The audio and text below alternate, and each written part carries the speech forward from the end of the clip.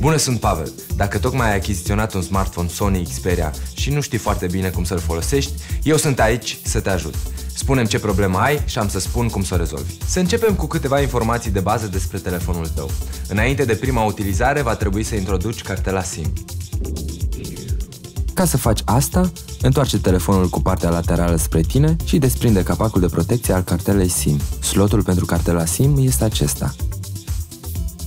Iar pe aici îți vei încărca telefonul. Folosește-ți unghia ca să scoți dispozitivul SIM afară, apoi așează în el cartela SIM cu contactele aurii în sus. Introdu la loc dispozitivul, împingându-l cu unghia până auzi un click.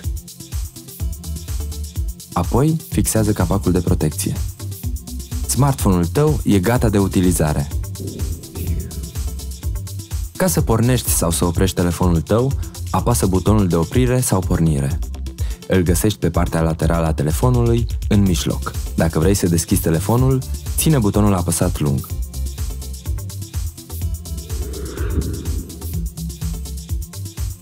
Dacă vrei să închizi smartphone-ul tău, ține butonul apăsat lung și selectează din meniul care se deschide Întrerupere alimentare.